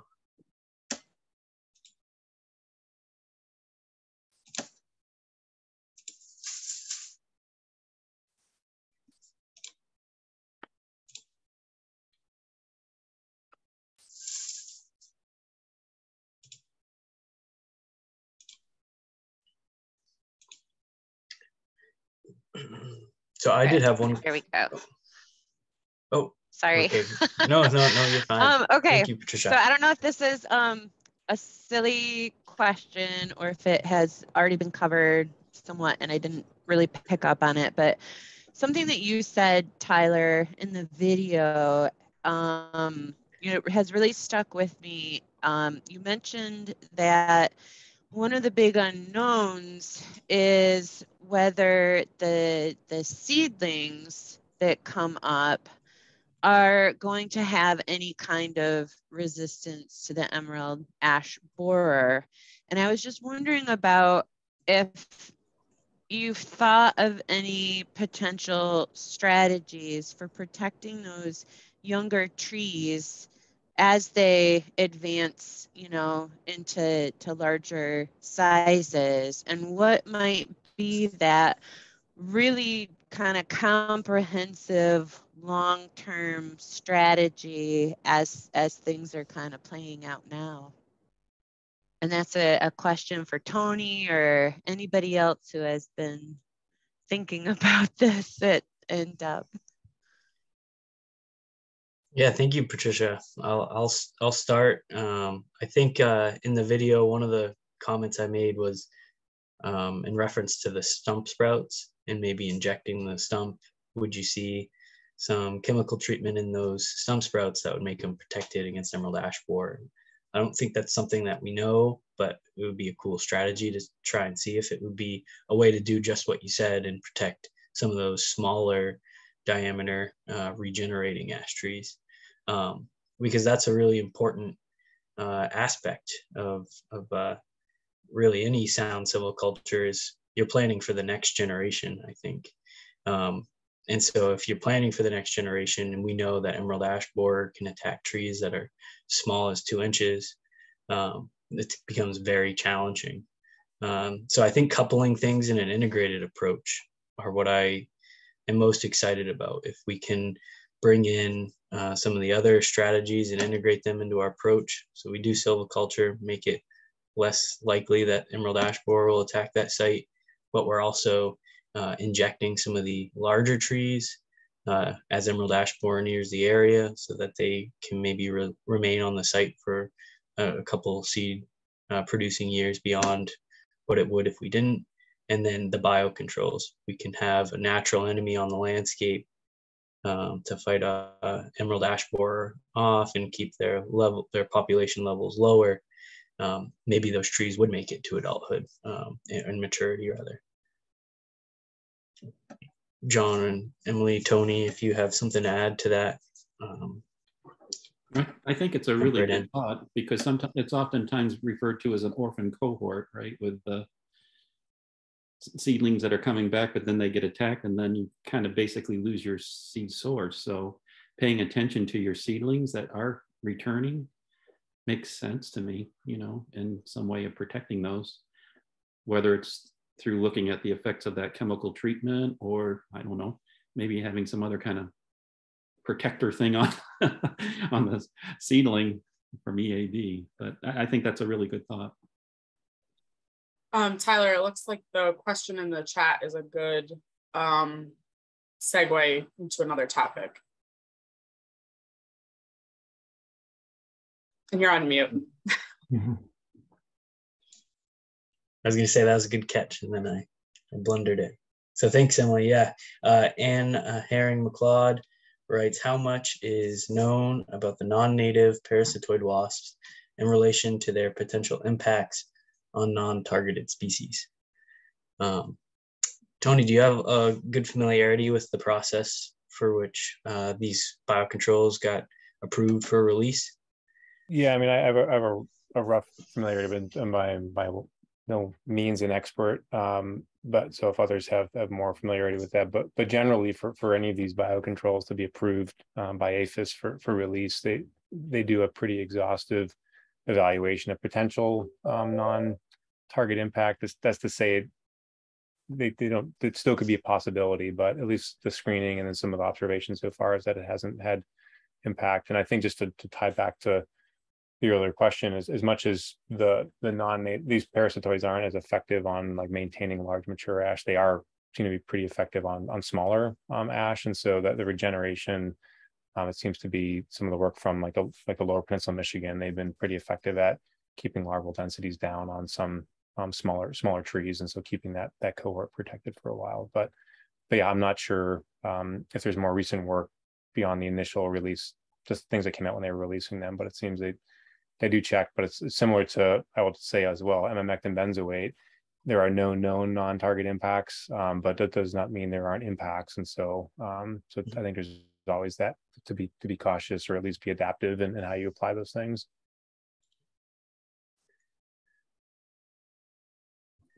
Um, one thing that is interesting about the biocontrols is how small they actually are. And when we hear the word wasp, I think a lot of people think of like the really scary killer wasps and things that, you know, have been in the pop culture recently about wasps and it's really incredible. Um, Colleen Teerling with the state of Maine talks about how some of the wasps, they're like as small as the period on a page. They're very, very small. And John and I had the opportunity to um, take part in a release in Southern Maine last week or the week before, and they are very small. So it's not like a honeybee or, you know, a hornet or a larger insect, you would never notice them on the landscape, um, which doesn't mean that there couldn't potentially be an issue um, for non-targeted species, but it is also not what we think of when we generally think of what a wasp is, which um, uh, is very interesting. And uh, it was amazing how small they actually were. So that was really cool. Yeah, thank you, Emily. Thanks, Tony. Um, I guess I, I, would just add that uh, that's kind of bringing up a good point of how we share these strategies with the community. If there's, um, I mean, in science, there's no way to say for certain that the biological controls are not going to have impacts on non-target species. Um, and we want to be clear that that's the case. Um, there hasn't been any found evidence that that's the case, but we're also still in the early stages of seeing these biocontrols get established on the landscape. So um, it's an uncertainty, and I think it's a balance of uh, kind of addressing that uncertainty, acknowledging it, and then doing uh, an estimate of, of what your what's the risk, what's the risk of doing that, uh, this strategy, and um, I think that's an important battle that uh, tribal communities and tribal uh, natural resource staff will have to kind of address as they decide uh, if this is a strategy they want to see carried out. Mm-hmm. So if anyone else has any other questions, you can feel free to unmute yourself or throw it in the chat. Um, otherwise, I do have some panel questions here pre-written that I we can move through here before we conclude.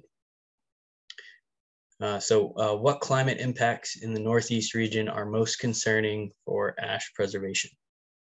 So this is, a, uh, this is with the climate resilience program that USET. So we wanna make sure we think about climate change and the impacts that our ash trees are, are experiencing. Um, anyone have a climate impact in mind that, that comes right to the top when thinking about ash preservation?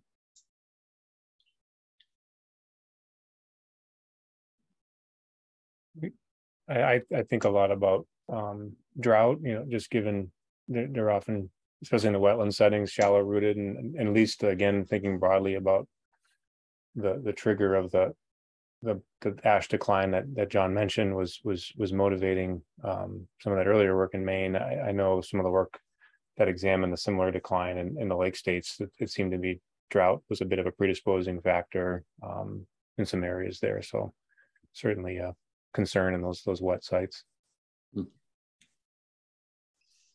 Yeah, I, I think the drought, but it's also I think the other extreme too with rain and water table levels getting too high, which then makes it a stressor on the tree that I think uh, you know is also important. I think I think that's also why it's important to have that inventory and monitoring to kind of see you know what changes might be happening on the landscape as we see you know kind of climatic effects. We're, we're probably going to still see kind of dieback. We have dieback you know that occurs in our ash trees, but is it increasing? Mm-hmm. Um, you know, are there other kind of factors impacting the health of the brown ash besides EAB that might be tied to you know climate change change conditions? Absolutely. I, I also think about uh, snowpack, and um, you know these are they're in areas where the snowpack is sometimes minimal in small depression areas, but it's a really important um, thing when it's a shallow rooted wet site.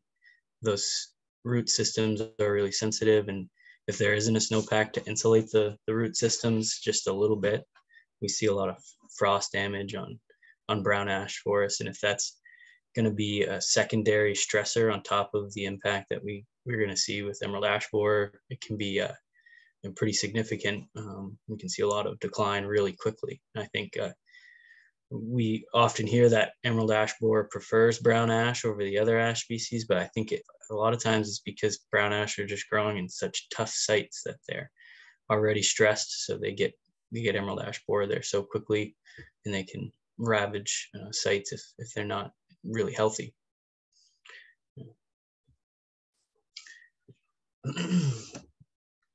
so I think um, we're coming close to the end of the, of the top of the hour. I'm checking the chat here one more time. I'm not seeing any more questions roll in. I think it would be a good time to think about the writing reflections for today. I'm going to uh, share my screen again here.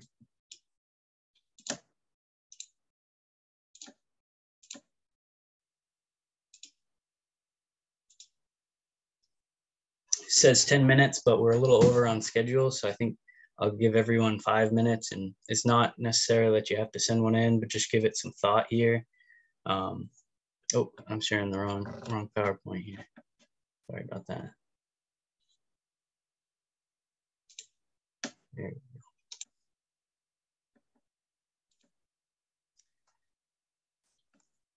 So there's a couple of uh, prompts on the checklist that people could focus on for a writing reflection.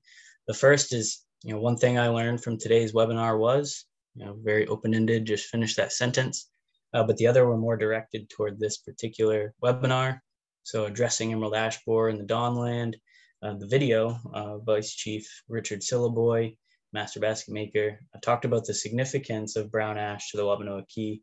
Uh, what element of significance for the brown ash tree stuck out to you the most and why? Um, and then in Tony D'Amato's presentation, integrated pest management of the emerald ash borer, numerous strategies for addressing emerald ash borer were shared. These strategies could have could prove useful in protecting a variety of culturally important plants, uh, whether it be for ash trees or some other significant resource in your community. How might you share these strategies uh, determine to determine if the community supports them? Um, so I'll give a little bit of time for people to think about that. But if you have a reflection that you'd like to share with the group um, right away, uh, feel free to unmute yourself and share or uh, type it into the chat box and uh, share that way.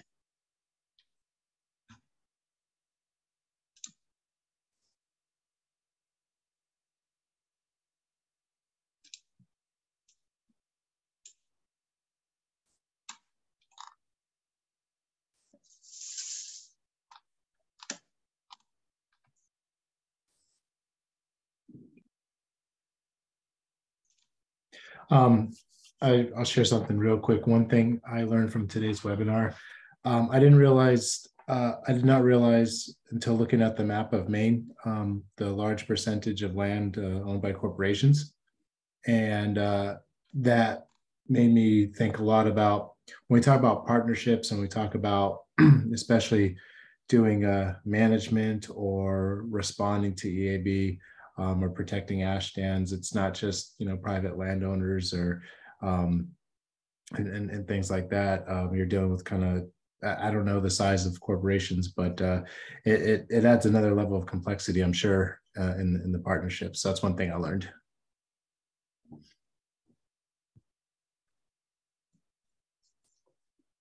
Yeah, that's a really good point, especially in the the context of Maine Maine's landscape I feel like there's uh, more often than not, uh, not a federal or state adjacent landowner. It's a private corporation to tribal lands in Maine. So it's always challenging to try to facilitate a relationship to do some landscape level management um, when that's the case. Yeah, and I just add, I mean, it was partly driven too by the interests of the tribal communities because most of the harvesting that's done is on private land, not on tribal forest land. So having having involvement of private landowners and, and including the large and private industrial landowners, which is up more in northern Maine, closer to Mi'kmaq, is really important. So.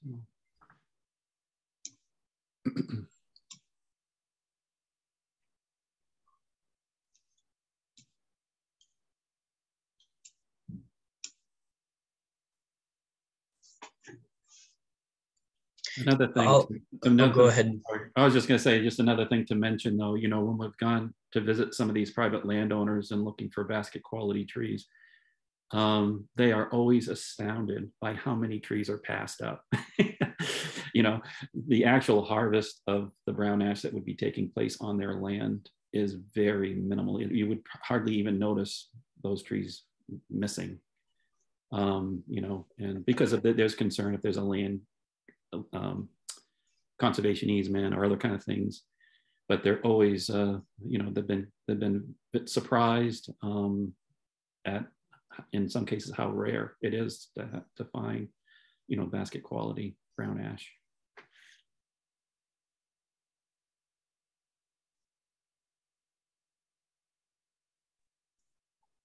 Hi, this is Jennifer Isherwood. Can you hear me? Yes, we can, Jennifer. Hi, hi, Tyler. Um, from Emily's comment, I I learned, um, you know, about actually the size of the, you know, some of the parasitoid wasps that might be used in, in treatments, and and it made me think about how important it is in the um, image or you know the the discussion of, of treatments to people and and how when people think about oh you know we're going to release these insects and wasps and and how it really is important to explain, you know, um, what what these creatures may end up looking like or um, how they affect um, the landscape, you know, either visually or um, you know biologically. And it, it's a it's a key point because people do get you know upset just by that term wasp, I think, and um, mm. so that I think that was a really interesting point and made me change too my view of of that kind of treatment. So I appreciated that.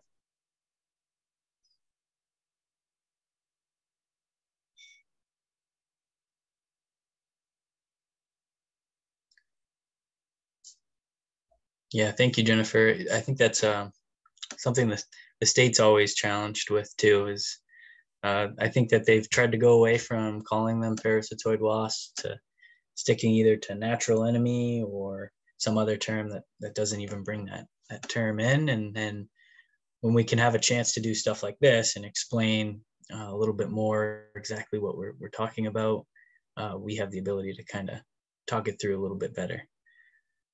Um, so that's a good point. Really good point.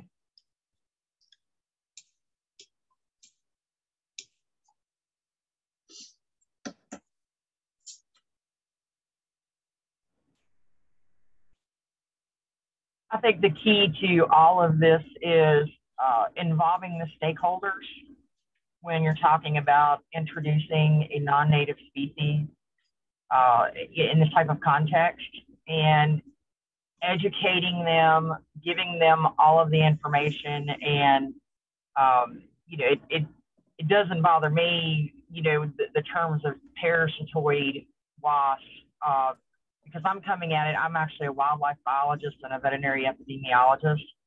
So, you know, the first thing I think is when I hear, you know, introducing any non-native species is, uh, you know, can we control it? What are these impacts going to be? And, uh, you know, are the impacts going to be more significant than the initial threat that we're trying to eliminate?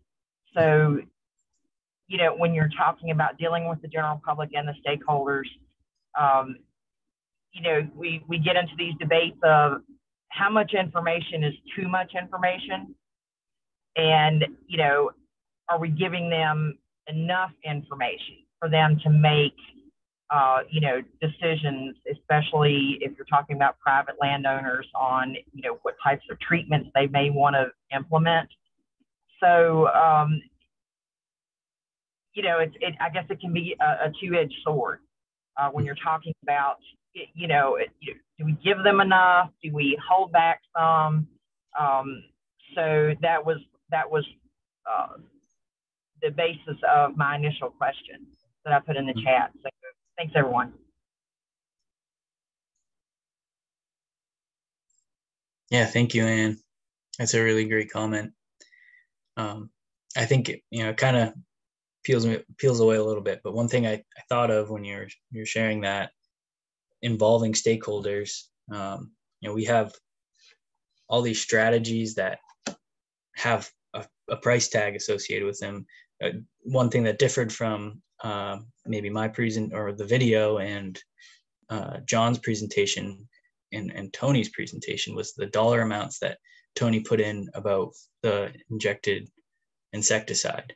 Um, I think that that's when you're talking about a private landowner. Um, there's a there's a practicality to maybe some of these strategies in terms of preserving a species, and a lot of times the bottom line is if it's gonna be economically feasible. Um, and I mean, I think that that's just a realistic thing to to acknowledge. Um, and how do how do we determine if it is um, economically feasible? We have to you know balance what's the the cost and what's the benefit, um, which you touched on really well there. I think uh, one thing that often gets overlooked when we think about the benefit are are these uh, you know if, if we're we're in a group here where the cultural significance of species is commonly talked about. But you know outside of this webinar those folks that don't hear that very often sharing that story i think maybe makes some people stop and reconsider is this is this a, a benefit that's way outweighing the cost even of some of these strategies that are really pretty expensive. Um, and, and who, who can we get on board with doing some of those strategies to preserve this species if, uh, if they know about that, that value that they may not know about right now.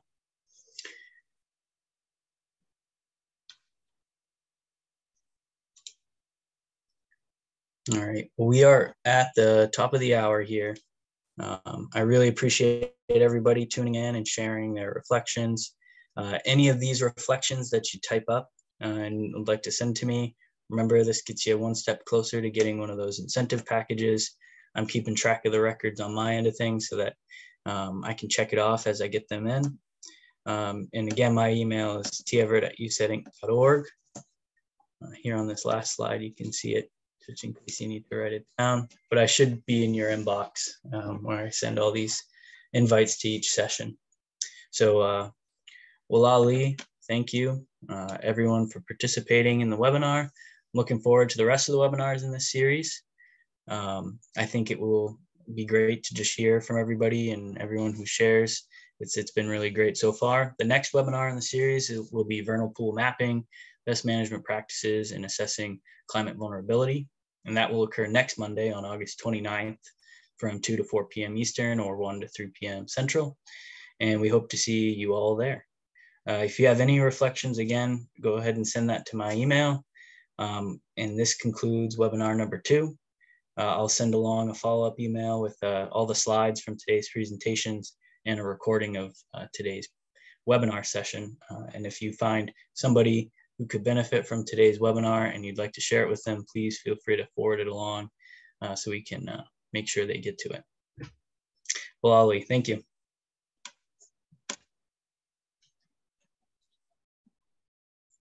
Thank you all. Thank you, everyone. See ya. Thank you, Tony. You, Tyler. Take care. You too. Hey, Tyler, I'm just going to stay on for a moment. And then once everyone hops off, I'll save the chat and the recording. Sounds good. Thank you, Casey.